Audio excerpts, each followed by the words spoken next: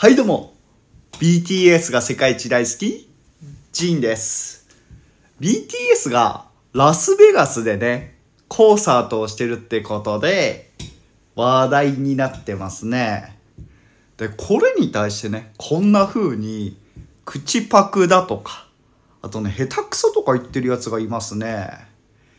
いやほんと許せないなって思いますね。うん。いや口パクじゃねえから。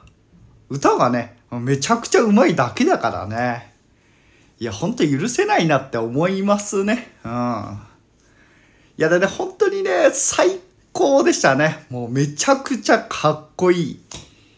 でね、あの、世界一のね、BTS が口パクなんかするわけないでしょ。いや、ほんとね、批判するにしても、もっとね、マシなこと言えって思いますね。うん。いや、ほんと許せないなって思います。うん。